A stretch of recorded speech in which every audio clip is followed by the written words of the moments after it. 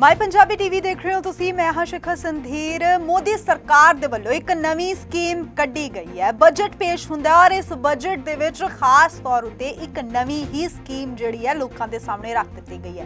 ਜੋ ਲੋਕ ਤੁਹਾਨੂੰ ਨੌਕਰੀ ਦੇਣਗੇ, ਭਾਵ ਨੌਕਰੀ ਲੱਭਣ ਵਾਲਿਆਂ ਨੂੰ ਹੁਣ ਸਰਕਾਰ ਪੈਸੇ ਦੇਵੇਗੀ। ਕਦੇ ਪਹਿਲਾਂ ਤੁਸੀਂ ਨਹੀਂ ਸੁਣਿਆ ਹੋਵੇਗਾ, ਅਜਿਹਾ ਕਿਸੇ ਸਰਕਾਰ ਨੇ ਕੀਤਾ ਹੋਵੇ, ਪਰ ਇਹ ਪਹਿਲੀ ਦਫਾ ਹੈ ਕਿ ਮੋਦੀ ਸਰਕਾਰ ਇਹ ਕਦਮ ਚੁੱਕਣ ਜਾ ਰਹੀ ਹੈ ਔਰ ਇੱਕ ਸਪੈਸ਼ਲ ਸਕੀਮ ਵੀ ਤਿਆਰ ਕਰ ਲਈ ਗਈ ਹੈ। ਬਜਟ ਦੇ ਵਿੱਚ ਜੋ ਪੇਸ਼ਕਸ਼ ਅੱਜ ਵਿੱਤ ਮੰਤਰੀ ਦੇ ਵੱਲੋਂ ਕੀਤੀ ਜਾਂਦੀ ਹੈ, ਉਸ ਦੇ ਵਿੱਚ ਖਾਸ ਤੌਰ ਉੱਤੇ ਰੋਜ਼ਗਾਰ ਦੇ ਮੱਦੇ ਨਜ਼ਰ ਇੱਕ ਸਕੀਮ ਵੱਖ ਤਰੀਕੇ ਨਾਲ ਕੱਢੀ ਗਈ ਹੈ। 15000 ਰੁਪਏ ਕਿੱਦਾਂ ਤੁਹਾਡੇ ਖਾਤਿਆਂ ਦੇ ਵਿੱਚ ਮੁਫਤ ਦੇ ਵਿੱਚ ਆ ਸਕਦੇ ਨੇ, ਜੇਕਰ ਤੁਸੀਂ ਰੋਜ਼ਗਾਰ ਪ੍ਰਦਾਨ ਕਰਦੇ ਹੋ। ਔਰ ਇਹ ਬਹੁਤ ਸਿੰਪਲ, ਸਿੱਧੀ, ਸਪਸ਼ਟ ਰੂਪ ਦੇ ਵਿੱਚ ਮੋਦੀ ਸਰਕਾਰ ਨੇ ਐਲਾਨ ਕੀਤਾ ਹੈ। ਵੇਰਵਾ ਤੁਹਾਨੂੰ ਨਾਲ ਨਾਲ ਦੇ ਦਿੰਨੇ ਆ ਮੋਦੀ ਸਰਕਾਰ ਜਿਹੜੀ ਕਿ ਐਤਕੀ ਤੀਜੀ ਵਾਰ ਜਿਹੜੀ ਆਪਣੀ ਸਰਕਾਰ ਬਣਾਉਂਦੀ ਹੈ, ਕੇਂਦਰ ਦੇ ਵਿੱਚ ਵਿੱਤ ਮੰਤਰੀ ਦੇ ਵੱਲੋਂ ਐਲਾਨ ਕੀਤਾ ਜਾਂਦਾ ਹੈ। ਸੰਸਦ ਦੇ ਵਿੱਚ ਬਜਟ ਪੇਸ਼ ਕੀਤਾ ਜਾਂਦਾ ਹੈ। ਪਹਿਲੀ ਵਾਰ ਨੌਕਰੀ ਲੱਗਣ ਤੇ ਮੋਦੀ ਸਰਕਾਰ 15000 ਰੁਪਏ ਦੇਗੀ। ਤਾਂ ਕੇਂਦਰ ਸਰਕਾਰ ਨੇ ਇੱਕ ਨਵੀਂ ਸਕੀਮ ਕੱਢੀ ਹੈ, ਜਿਸ ਦੇ ਵਿੱਚ ਜਦੋਂ ਅੱਜ ਬਜਟ ਦੇ ਵਿੱਚ ਉਦਘਾਟਨੀ ਭਾਸ਼ਣ ਦੇ ਵਿੱਚ ਮੰਤਰੀ ਨੇ ਰੋਜ਼ਗਾਰ ਦੀ ਗੱਲ ਕੀਤੀ ਅਤੇ ਇਸ ਤੋਂ ਬਾਅਦ ਹੁਨਰ ਵਿਕਾਸ ਦੇ ਲਈ ਇਹ ਐਲਾਨ ਕੀਤਾ। ਰੋਜ਼ਗਾਰ ਵਧਾਉਣ ਦੇ ਲਈ ਤਿੰਨ ਵੱਡੀਆਂ ਯੋਜਨਾਵਾਂ ਦਾ ਐਲਾਨ ਕੀਤਾ ਗਿਆ ਹੈ। ਇਸ ਦੇ ਵਿੱਚ ਪ੍ਰਧਾਨ ਮੰਤਰੀ ਇੰਪਲੋਇਮੈਂਟ ਲਿੰਕਡ ਇਨਵੈਸਟਮੈਂਟ ਤਹਿਤ ਜਿਹੜਾ ਇਸ ਨੂੰ ਲਿਆਉਂਦਾ ਜਾਏਗਾ।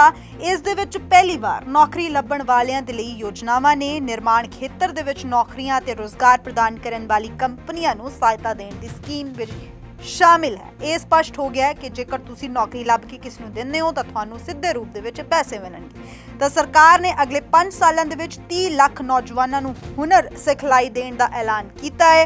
ਹੁਣ ਇਹਨਾਂ ਸਕੀਮਾਂ ਦੇ ਬਾਰੇ ਡਿਟੇਲ 'ਚ ਇੱਕ ਇੱਕ ਕਰਕੇ ਤੁਹਾਨੂੰ ਦੱਸਦੇ ਹਾਂ। ਪਹਿਲੀ ਵਾਰ ਨੌਕਰੀ ਲੱਭਣ ਵਾਲਿਆਂ ਦੇ ਲਈ ਇਹ ਸਕੀਮ ਜਿਹੜੀ ਹੈ, ਮੋਦੀ ਸਰਕਾਰ ਨੇ ਇੰਟਰੋਡਿਊਸ ਕੀਤੀ ਹੈ ਈਪੀਐਫਓ ਦੇ ਵਿੱਚ। ਜੇਕਰ ਤੁਹਾਡੀ ਤਨਖਾਹ ਦੇ ਰਜਿਸਟਰ ਹੋਣ ਵਾਲੇ ਕਰਮਚਾਰੀਆਂ ਨੂੰ ਜਿਹੜਾ ਬੈਂਕ ਖਾਤੇ ਦੇ ਵਿੱਚ ਪੈਸੇ ਟ੍ਰਾਂਸਫਰ ਕੀਤੇ ਜਾਣਗੇ। ਇਹ ਰਕਮ ਤੁਹਾਨੂੰ ਤਿੰਨ ਕਿਸ਼ਤਾਂ ਦੇ ਵਿੱਚ ਦਿੱਤੀ ਜਾਵੇਗੀ। ਇਸ ਦੇ ਨਾਲ ਇਹ ਅਨੁਮਾਨ ਲਗਾਇਆ ਜਾ ਰਿਹਾ ਕਿ 30 ਲੱਖ ਨੌਜਵਾਨਾਂ ਨੂੰ ਸਿੱਧੇ ਤੌਰ ਉੱਤੇ ਮੁਨਾਫਾ ਹੋਏਗਾ, ਲਾਭ ਪਹੁੰਚੇਗਾ। ਦੂਜੀ, ਨਿਰਮਾਣ ਖੇਤਰ ਦੇ ਵਿੱਚ ਹੁਲਾਰਾ ਕਿਸ ਤਰੀਕੇ ਨਾਲ ਮਿਲੇਗਾ? ਵਿੱਤ ਮੰਤਰੀ ਨੇ ਬਜਟ ਦੇ ਵਿੱਚ ਇਹ ਗੱਲ ਕਹੀ ਹੈ ਕਿ ਰੋਜ਼ਗਾਰ ਨੂੰ ਉਤਸ਼ਾਹ ਕਰਨ ਦੇ ਲਈ ਜਿਹੜਾ ਹੈ, ਅਲੱਗ ਤਰੀਕੇ ਦੀ ਸਕੀਮ ਇੰਟਰੋਡਿਊਸ ਕੀਤੀ ਜਾ ਰਹੀ ਹੈ। ਸਰਕਾਰ ਨੇ ਇਸ ਯੋਜਨਾ ਦੇ ਤਹਿਤ ਜਿਹੜਾ ਹੈ, ਕਰਮਚਾਰੀ ਅਤੇ ਮਾਲਕਾਂ ਦੋਵਾਂ ਨੂੰ ਪ੍ਰੋਤਸਾਹਿਤ ਦੇਣ ਦਾ ਐਲਾਨ ਕੀਤਾ ਹੈ। ਲਾਭ ਰੋਜ਼ਗਾਰ ਸ਼ੁਰੂ ਹੋਣ ਦੇ ਪਹਿਲੇ 4 ਸਾਲਾਂ ਦੇ ਲਈ ਕਰਮਚਾਰੀ ਅਤੇ ਮਾਲਕ ਦੋਵਾਂ ਲਈ ਉਪਲਬਧ ਹੋਵੇਗਾ। ਦੂਜੇ ਪਾਸੇ ਰੋਜ਼ਗਾਰਦਾਤਾ ਨੂੰ ਸਮਰਥਨ ਮਿਲੇਗਾ। ਕੇਂਦਰ ਸਰਕਾਰ ਨੇ ਨੌਕਰੀ ਪ੍ਰਦਾਨ ਕਰਨ ਵਾਲੀ ਕੰਪਨੀਆਂ ਅਤੇ ਰੋਜ਼ਗਾਰਦਾਤਾਵਾਂ ਦੇ ਲਈ ਇੱਕ ਸਹਾਇਤਾ ਯੋਜਨਾ ਦਾ ਵੀ ਐਲਾਨ ਕੀਤਾ। 1 ਲੱਖ ਰੁਪਏ ਪ੍ਰਤੀ ਮਹੀਨਾ ਤੱਕ ਰੋਜ਼ਗਾਰ ਪ੍ਰਦਾਨ ਕਰਨ ਵਾਲੀ ਮਾਲਕਾਂ ਨੂੰ ਪ੍ਰਤੀ ਮਹੀਨੇ 3000 ਰੁਪਏ ਤੱਕ ਦੀ ਸਹਾਇਤਾ ਦਿੱਤੀ ਜਾਏਗੀ, ਜੋ ਕਰਮਚਾਰੀਆਂ ਦੇ ਈਪੀਐਫਓ ਯੋਗਦਾਨ ਵਿੱਚ ਜਾਵੇਗੀ। ਤਾਂ ਇਹ ਸਿੱਧੇ ਤੌਰ ਉੱਤੇ ਆਮ ਜਨਤਾ ਨੂੰ ਇਸ ਦਾ ਫਾਇਦਾ ਹੋਣ ਵਾਲਾ ਹੈ ਤੇ ਤੁਹਾਡੇ ਖਾਤਿਆਂ ਦੇ ਵਿੱਚ ਨੋਟ ਜਿਹੜੇ ਨੇ ਉਹ ਖੁਦ ਮੋਦੀ ਸਰਕਾਰ ਪਾਏਗੀ। ਪਰ ਉਸ ਦੇ ਵਾਸਤੇ ਤੁਹਾਨੂੰ ਕੁਝ ਕਦਮ ਜਿਹੜੇ ਨੇ ਉਹ ਚੁੱਕਣੇ ਪੈਣਗੇ। ਜਿਵੇਂ ਕਿ ਜੇ ਤੁਸੀਂ ਕਿਸ ਦੇ ਲਈ ਰੋਜ਼ਗਾਰ ਪੈਦਾ ਕਰ ਸਕਦੇ ਹੋ, ਉਸ ਦੇ ਲਈ ਅਲੱਗ ਸਕੀਮ ਹੈ। ਜੇਕਰ ਤੁਸੀਂ ਕਿਸੇ ਅਜਿਹੀ ਕੰਪਨੀ ਦੇ ਨਾਲ ਜੁੜਦੇ ਹੋ ਜਿੱਥੇ ਰੋਜ਼ਗਾਰ ਦੇ ਸਾਧਨ ਜ਼ਿਆਦਾ ਹੁੰਦੇ ਨੇ। ਦੂਜੇ ਪਾਸੇ ਇਸ ਨੂੰ ਪ੍ਰਧਾਨ ਮੰਤਰੀ ਇੰਪਲੋਇਮੈਂਟ ਲਿੰਕਡ ਇਨਵੈਸਟਿਵ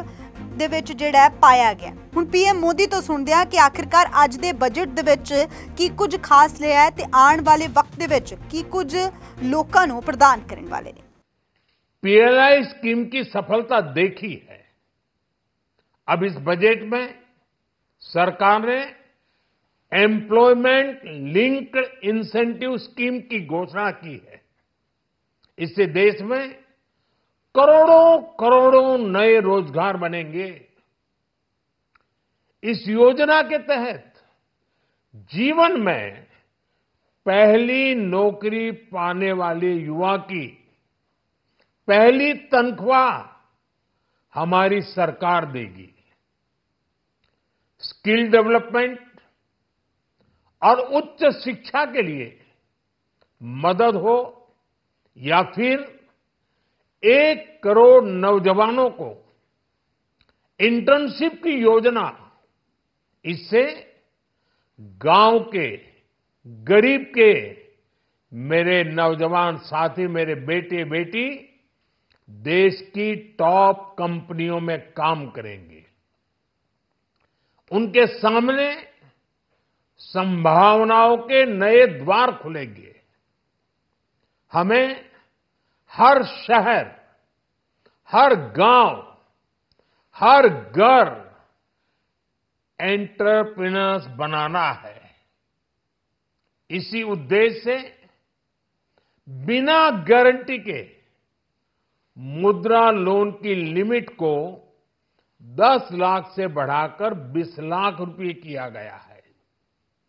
इससे छोटे कारोबारियों, विशेष रूप से महिलाओं दलित, पिछड़े, आदिवासी परिवारों में स्वरोजगार को बल मिलेगा।